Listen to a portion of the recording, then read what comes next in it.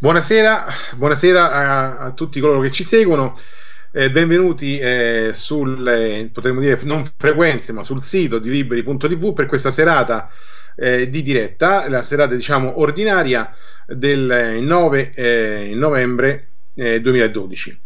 Eh, venerdì 9 novembre. Allora, ehm, questa sera appunto consueta diciamo appuntamento con la virgola del direttore, soltanto che eh, per una serie di motivi eh, non è nulla di preordinato, ma è qualcosa di improvvisato. Quindi praticamente, insomma, siamo un pochino in, cioè, siamo stati colti impreparati, sono stato colto impreparato eh, perché non ho preparato nulla, non ho avuto il tempo, perché sono stati giorni di preparazione di una puntata straordinaria, quella di ieri eh, oggi eh, è quello di cui vi voglio parlare. C'è stato un evento che abbiamo seguito e ci ha preso tutta la mattinata e quasi tutto il pomeriggio. E vi voglio parlare di questo perché sarà un, un, ovviamente un servizio che faremo questa nottata. Penso che lo monterò, eh, monterò i video. ed è stato un, secondo me un evento importante perché è un evento mm, antiproibizionista, soprattutto eh,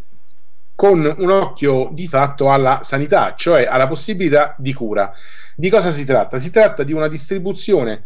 in piazza Montecitorio della, ehm, della canapa eh, marijuana che dir si voglia che Rita Bernardini ha ehm, iniziato a piantare il giorno del, di, eh, di, una conferenza stampa alcuni mesi fa una conferenza stampa a, all'interno di Montecitorio, quindi si è portata i semi con i vasetti e lì ha piantato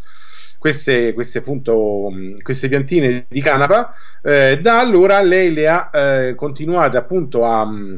ad innaffiare, quindi a far crescere nel suo, nel suo terrazzo, sono cresciute fino appunto ad arrivare a, a maturazione e questa diciamo disobbedienza civile era finalizzata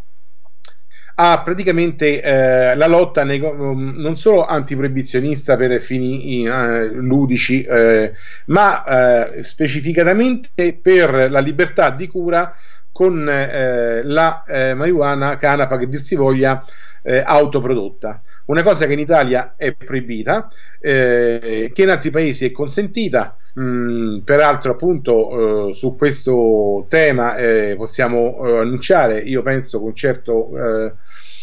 Soddisfazione che in alcuni, in alcuni stati degli Stati Uniti addirittura l'uso ludico della canapa è stato eh, consentito. Eh, e comunque per tornare a questa mattina, ovviamente stato, sono stati coinvolti in questo evento che è stato fatto nel modo più ovviamente plateale possibile davanti a Montecitorio, e adesso diremo anche perché. Eh, sono stati coinvolti ehm, i malati di sclerosi, di SLA, eh, tutti coloro che eh, eh, che sono affetti da una malattia per la quale già oggi assumono e già da tempo assumono dei farmaci cannabi- cannabinoidi eh, tramite eh, autorizzazione della ASL e li devono acquistare poi ottenendo rimborso dall'estero, dall'Olanda, eh, con una spesa notevole per quanto riguarda il Servizio Sanitario Nazionale ed è loro proibito di potersi piantare questa pianta mh, mm, in casa e poterla utilizzare, eh, stante il fatto che eh, questi farmaci ehm, non sono altro che eh, cime eh, di, di canapa, nient'altro, che si possono assumere in vario modo, si possono assumere in infusi, fumati o meno.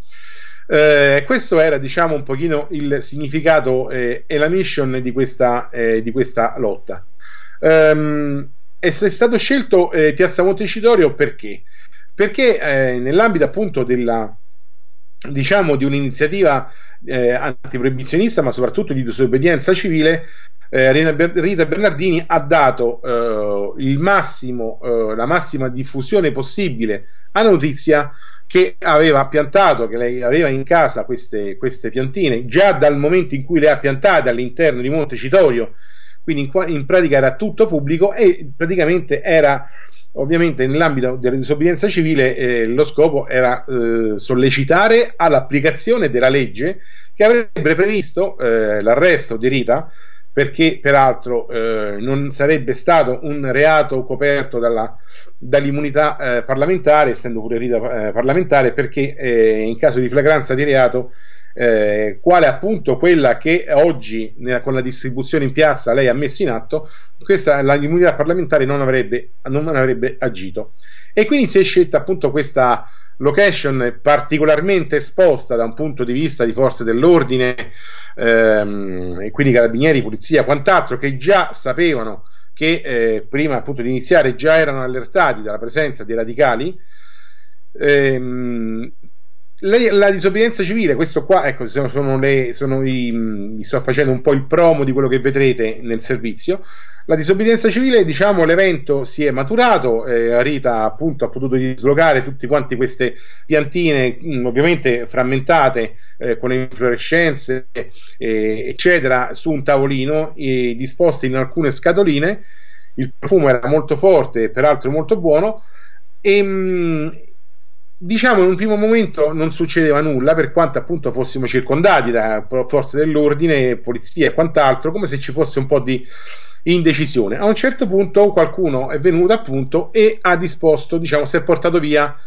tutto questo materiale eh, stupefacente, insomma, tutta questa sostanza, come la chiamano loro, con tutte le scatoline, peraltro molto carine, eh, e mh, mm, scatoline di legno erano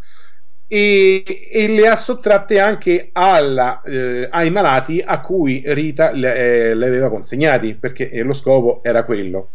Erano venuti da lontano c'era Andrea Trisciuoglio c'era um, Lucia Spiri eh, che abbiamo avuto anche su libri.tv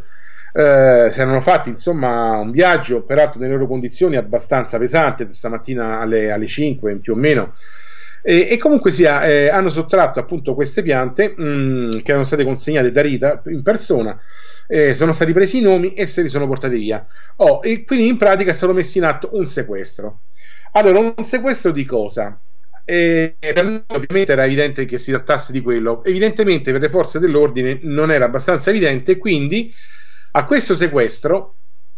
ecco perché la giornata si è prolungata veramente in un modo stressante, eh, a questo sequestro è seguita eh, l'analisi eh, della sostanza per accertare che effettivamente si trattasse di canapa, eh, la pesatura eh, e poi dopo appunto questa, questo prima approccio scientifico, diciamo, tra virgolette, ehm, non ci stavano i, diciamo, i quantitativi di principio attivo e così via, però insomma l'accertamento a livello chimico che la sostanza era quella è stato fatto e, e quindi praticamente eh, è stato emesso un verbale di sequestro che i, i soggetti che appunto è, a cui era stata sottratta questa sostanza, quindi Rita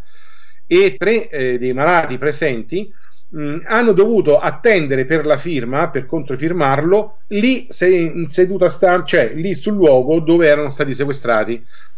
eh, e quindi a Piazza Montecitorio. E quindi insomma l'attesa si è prolungata per un eh, quasi 5 ore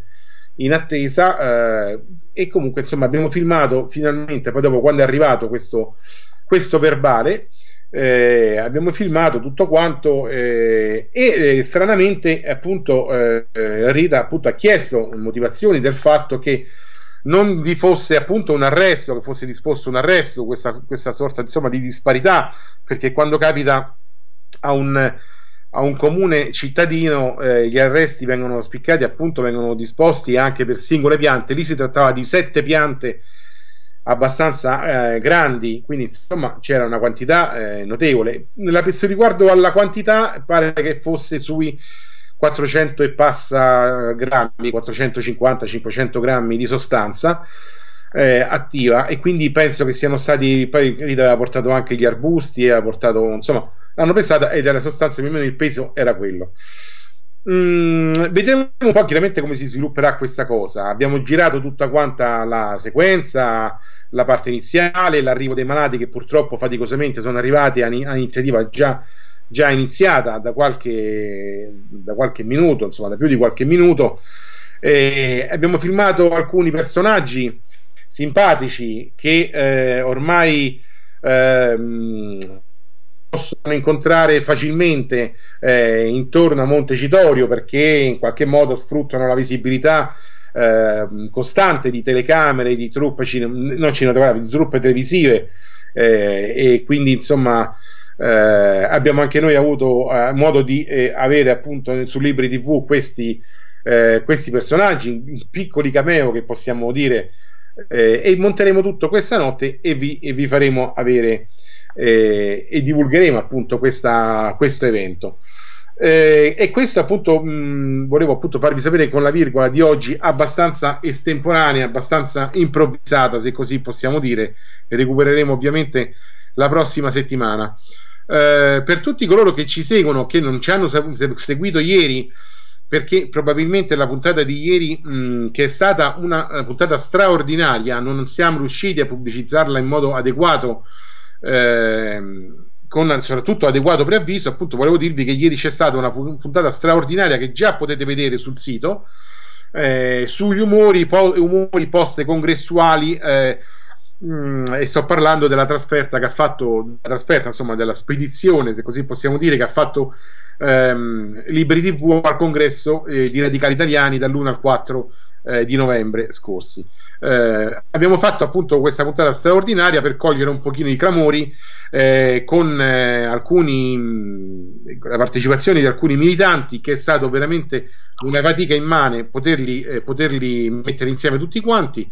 eh, e potete trovarla, potete vederla su, eh, sul nostro sito. E, mh, vedremo anche peraltro mh, di eh, completare perché non è, non è facile ehm, purtroppo con i mezzi che abbiamo a completare le mh, eh, la pubblicazione, il montaggio e la pubblicazione delle interviste del, eh, del congresso appunto di radicali italiani. Eh, qualcuno già le ha viste, ce ne sono già credo una, una quarantina, è stato un lavoro veramente, veramente oneroso per una eh, web tv con, il, con, i nostri strumenti eh, estremamente, estremamente esigui e non è purtroppo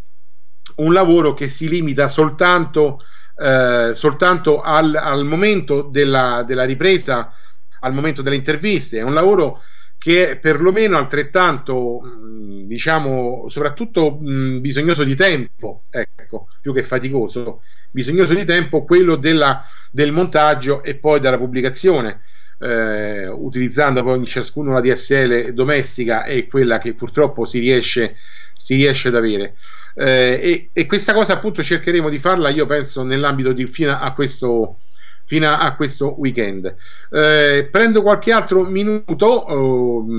e, perché probabilmente abbiamo qualche piccolo problema tecnico. Prendo qualche altro minuto per ovviamente ehm, parlarvi del palinsesto di oggi. È un palinsesto eh, per quanto più breve del, diciamo, del solito ma è molto interessante. E quindi dopo questo spazio di, di sproloqui che sono la virgola del direttore, avremo alle, mh, mm, subito dopo eh, il, la trasmissione cura, curata eh, normalmente da, da Giancarlo Calciolari eh, a tavola con eh, la filosofia questa sera e la, il titolo sarà La vita impossibile, aperture e chiusure della forma della comunità. Conversazione con Federico Sollazzo sulla comunità del futuro, conduce Giancarlo Calciolari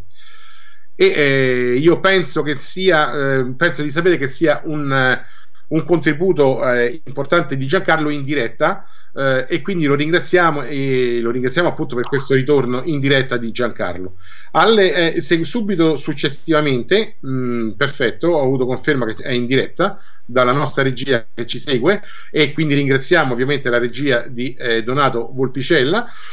subito dopo appunto tavola con la filosofia abbiamo lo spazio live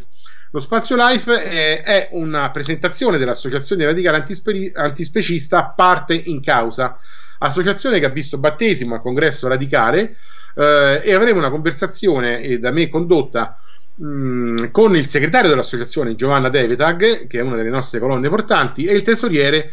eh, Gabriele Ceccarelli. Eh, cercheremo un pochino di approfondire quelli che sono stati i momenti appunto più importanti di eh, e i contributi e le presenze importanti in questo evento costitutivo che è stato questo congresso costituente eh, che si è svolto appunto mi sembra il 2 di novembre all'interno nell'ambito del congresso di radicali italiani. Eh, e un po' parleremo sulla mission, un po' su delle informazioni che possono in qualche modo interessare e, e divulgheremo poi subito dopo questa associazione radicale antispecista che appunto è stata si è autobattezzata eh, parte in causa Allora, a questo punto io vi ringrazio di avermi seguito nei miei sprologhi. Vi do appuntamento ovviamente eh, alle trasmissioni eh, di liberi.tv e successivamente appunto a questa mia virgola a tavola con la filosofia con Giancarlo Calciolari. Grazie ancora, a più tardi.